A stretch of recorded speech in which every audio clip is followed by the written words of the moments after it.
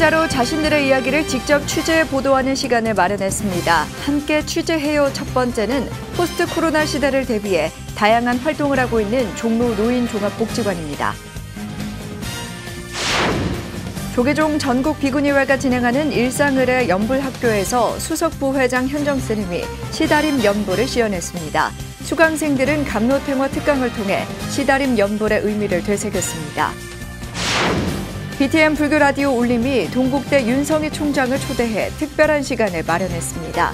윤성희 총장은 학교 방향을 모색하는 동국 미래 교육 포럼을 오는 9월부터 시작한다고 밝혔습니다.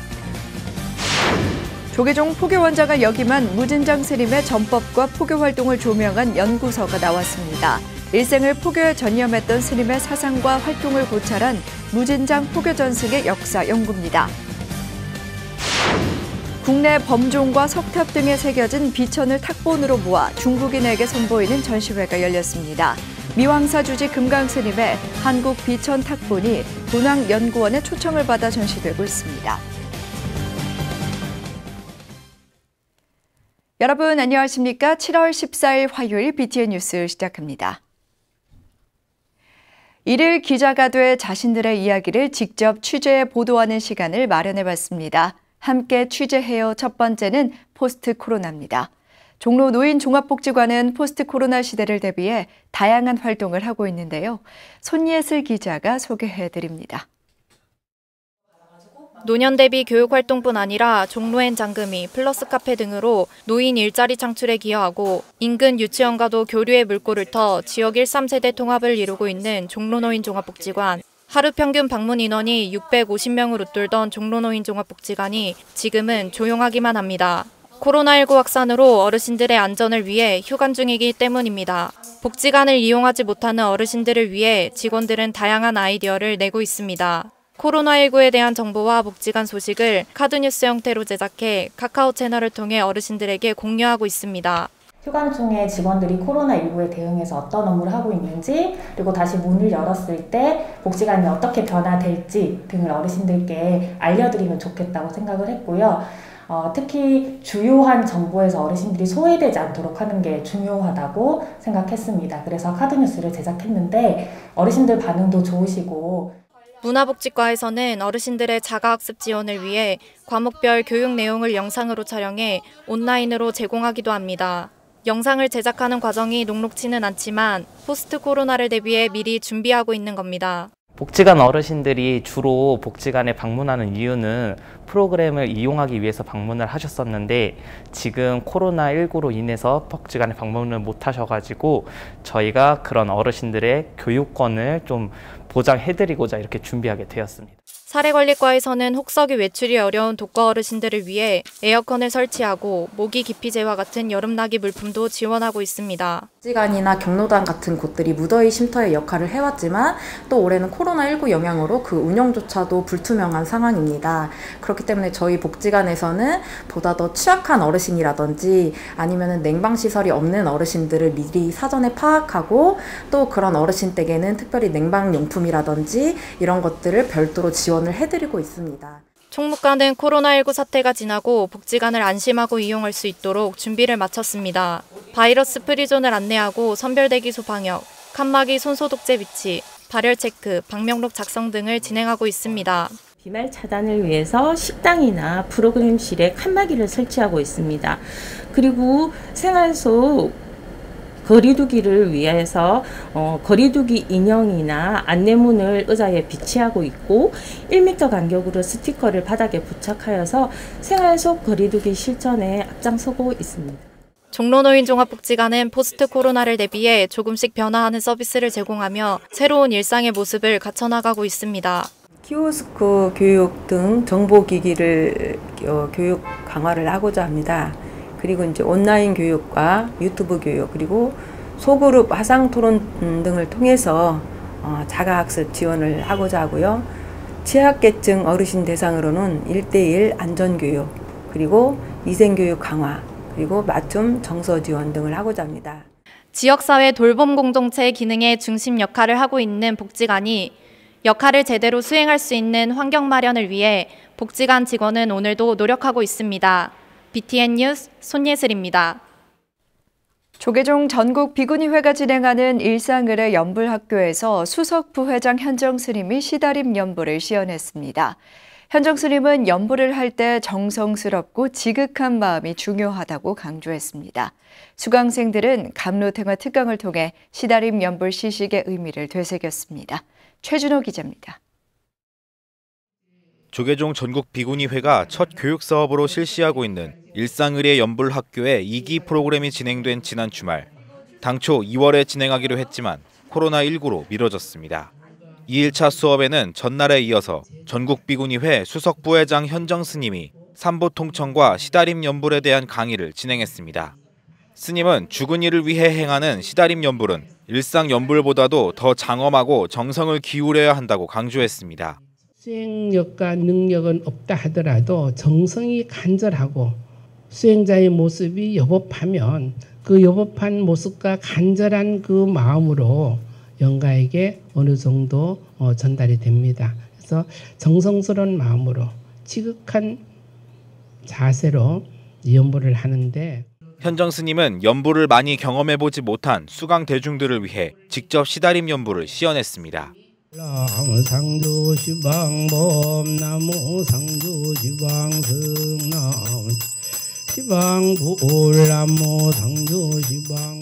또한 연가 앞에서 연불할 때에는 내용을 알고 있더라도 반드시 의례집을 앞에 놓고 보면서 하는 것이 정확하게 연불할 수 있고 정성을 보일 수 있다고 덧붙였습니다. 오후에는 사찰에서의 연불 시식의 의미를 그림으로 표현한 감로탱화에 대한 중앙승가대 문화재학과 강소연 교수의 특별 강연이 있었습니다. 우리 쌤들이 지금 시달림에 대해서 공부를 하셔요. 제일 제가 주지 살면서 어려웠던 게 그 시달림 가서 그런 문상이 어려웠는데 그러한 것들이 어떤 의미를 담고 있나 탱화 속에서 미술 속에서 이걸 찾으신 그런 분이시고 영가의 극락왕생을 발언하는 천도제를 그림으로 표현한 감로탱화는 사바 세계의 영가가 마음으로 깨어나 부처님의 세계로 가는 과정이 담겨 있습니다. 영가가 천도되는 과정이 그림으로 상세하게 그려져 있는 그 내용이 담겨 있는 게 감로탱입니다. 어, 시다림 법문을 했을 때 실제로 영가가 어떻게 예, 이제 깨어있지 않은 영가 상태에서 깨어있는 이 마음의 상태로 전환하는지를 감로탱에 상세하게 묘사하고 있습니다. 교육의 기회가 많지 않았던 연불 의식에 대한 집중 교육 과정을 제공하는 전국 비구니회의 일상의례 연불학교. 시다림 연불 교육을 거친 스님들에 의해 더 많은 불자 영가들이 마음을 일깨우고 부처님 법안에서 극락왕생할 수 있을 것으로 보입니다. BTN 뉴스 최준호입니다. 조계종 군종교구장 해자 스님과 기획실장 삼회 스님, 사회부장 덕조 스님이 고 백선엽 장군 빈소를 조문했습니다. 해자 스님과 삼회 스님, 덕조 스님이 어제 서울 아산병원 장례식장을 찾아 지난 10일 100세 나이로 별세한 고 백선엽 장군을 추모했습니다. 삼회 스님은 총무원장 스님께서 지방 일정으로 조문이 어려우셨다며 해자 스님과 함께 종단을 대표해 추모의 뜻을 전하고 고인의 명복을 빌었습니다. 백선엽 장군은 대한민국 최초의 사성 장군으로 제7대 10대 육군 참모총장, 제19대 교통부 장관, 주중 대사 등을 역임했으며 한국전쟁 당시 다부동 전투를 승리로 이끌었습니다. 백선엽 장군의 연결식은 내일이며 국립대전현충원에서 육군장으로 진행될 예정입니다. BTN 불교 라디오 올림이 동국대 윤성희 총장을 초대해 특별한 시간을 마련했습니다. 윤석희 총장은 코로나 시대 속 대학의 위기 대처를 비롯해 학교가 나아가야 할 방향을 모색하는 동국 미래 교육 포럼을 오는 9월부터 시작한다고 밝혔습니다. 이동근 기자입니다. 예년보다 이른 장마로 집중 호우가 지속됐던 어제 오전 BTN 불교 라디오 울림 스튜디오에 동국대 윤성희 총장이 방문했습니다. 개편과 함께 청취자들의 편안함을 책임지고 있는 월요일엔 마음 산책 권경화입니다에 출연하기 위해서입니다. 생방송에 앞선 긴장감도 잠시 총장으로서의 회고와 동국 비전, 불교와의 인연 등 다양한 주제에 대해 막힘없는 생각을 풀어놓습니다. 바이러스 사태에 대해서는 비대면 원격 수업과 등록금 환불 등 여러 이슈가 중복된 가운데 총학생회와 구성원 간의 협치로 자발적 모금 캠페인이 성사됐다며 대학의 품앗이 문화를 형성했다고 말했습니다. 더불어 언택트 시대에 맞춰 선택적 패스제와 미래교육 포럼을 도입하는 등 IT 캠퍼스를 지향하며 선도적인 온라인 수업 시스템을 준비 중이라고 밝혔습니다. 어, 큰 문제 없이 전국에서도 유일하게 에, 상호 간의 쌍방 실시간 원격 강의가 되었던 것이죠. 그런데 여기에서 어, 만족하지 않고 동국대학이 나아가야 될 방향에 대해서 동국 교육 미래 포럼이라는 것을 어, 다음 다음 달 9월부터 마음 산책이라는 타이틀에 걸맞게 불자로서의 삶도 이야기했는데 항상 작은 인연에 감사하는 마음을 지니고 본인과 진리를 등불로 삼으라는 자등명 법등명의 부처님 말씀을 되새긴다고 말했습니다. 특히 불확실성이 커져가는 현실 속에 아직과 독서는 지양해야 한다며 불교가 미래 시대의 희망이라는 생각으로 상대방을 향한 열려있는 자세가 무엇보다 중요하다고 강조했습니다. 어떤 편협된 사고, 독선이라든지 집착이라든지 아집이라든지 이러한 걸 내려놓자고 하고 있지 않습니까? 그래서 불교는 앞으로 미래 사회에 있어서 그런 의미에서 굉장히 어, 좋은 어, 중요한 역할을 할 수 있지 않을까 그렇게 생각이 됩니다. 훈훈한 분위기 속에 청취자들의 사연과 질문에 답하며 의미 있는 대화를 나눈 윤 총장은 젊은 불자들이 더욱 즐길 수 있는 콘텐츠가 생성되길 바란다며 BTN의 발전을 기대했습니다. 많은 불자님이나 그리고 동국 출신의 또 불자들과 어, 소통할 수 있는 기회가 되어서 더없이 반갑고 어, 고마웠습니다. 앞으로도 우리 그 BTN의 무궁한 발전을 어, 기원하면서 BTN 뉴스 이동근입니다. BTN 불교TV가 백중을 맞아 오늘 16일부터 9월 2일까지 총 8번에 걸쳐 생방송 BTN 백중 특별 기도를 편성합니다. 코로나19 시국에 불자들의 안전한 신행 활동을 위해 특별 기획한 이번 생방송은 오는 16일 오전 11시 30분 입제를 시작으로 초제부터 육제까지는 매주 일요일 11시 30분에 진행되며 9월 2일 11시 30분에 회항합니다. BTN 백중 특별기도 생방송은 한글 지장경 독경을 시작으로 스님 법문, 축원 순으로 약 50분간 진행될 예정입니다. 특히 입제 회항에는 조계종 정계대화상 성우대종사가 특별 법문을 하며 초제부터 육제까지는 단양 방국사 회주 묘허 스님이 법문합니다. 또한 용인 반야정사 주지 석중 스님의 실시간 축원이 진행되며 사전 신청이나 생방송 중 전화 신청으로 동참할 수 있습니다. BTN 불교TV 내안의 선지식 금강경으로 유명한 김원수 법사의 특강이 지난 11일 창원 컨벤션 센터에서 열렸습니다.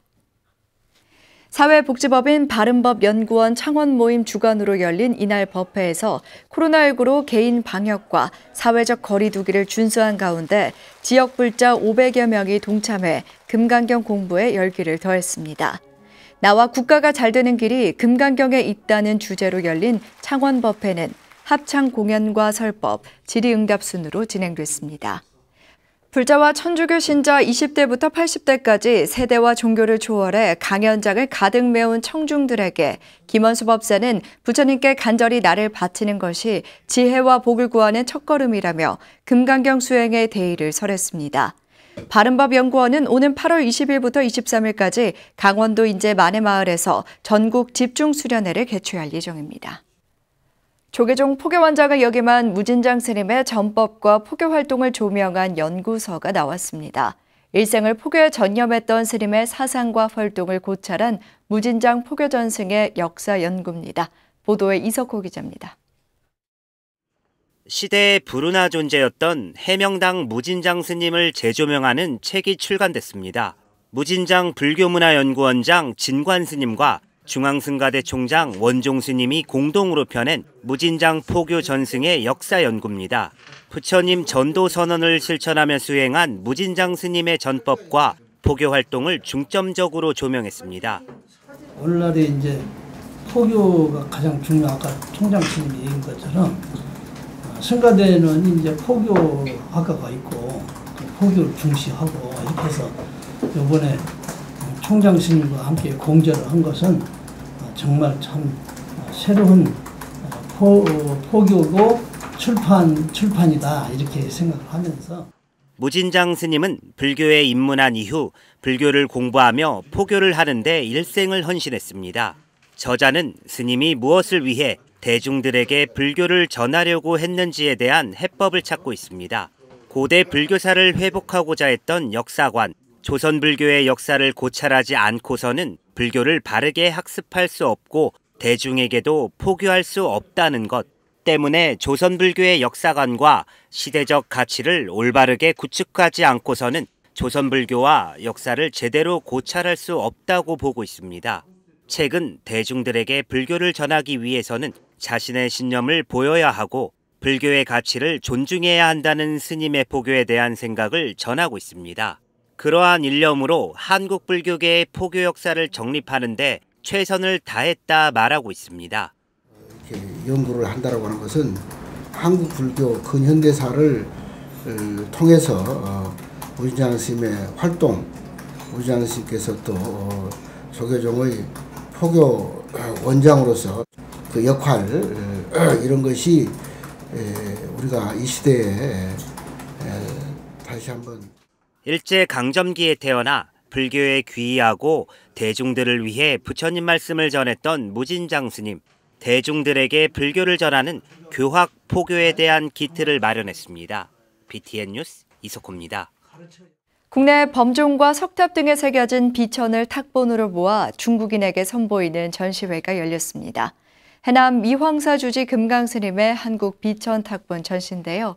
도낭연구원의 초청을 받아 마련된 전시회 소식 윤호섭 기자가 소개해드립니다. 영취산에서 설법하는 석가모니 부처님의 법음 위로 꽃비를 날리며 갖은 연주와 춤을 공양하는 비천. 옷주름 나부끼며 경계 없는 하늘을 나는 비천들을 탁본으로 모아 땅 위에서 두 눈으로 마주하는 전시회가 열렸습니다. 지난 10일 중국 도낭연구원 문화창의연구센터에서 개막한 중한연 불교예술전입니다. 이 전시에서 가장 눈길을 끄는 것은 해남 미황사 주지 금강스님의 소장 탁본 50여 점입니다. 1996년 미황사와 구산 선문 탁본전을 시작으로 여러 차례 개인전을 열기도 했습니다. 특히 국내 비천 탁본을 중국에 선보인 것은 지난해에 이어 이번이 두 번째입니다. 도낭은 비천의 고향이라 할 정도로 도낭 막고굴에 비천들이 굉장히 많이 그려져 있어요. 4년 전에 도낭에 초청되어서 도낭연구원 원장과 도낭시장과 막고구를 둘러보다가 비천이 있어서 한국의 비천하고 함께 전시를 하면 좋겠다 이런 마음에서 흔쾌하게 초청을 하게 됐습니다. 금강스님이 전시하는 50여 점의 비천 중 가장 대표적인 작품은 국보 제29호인 성덕대왕 신종의 비천입니다.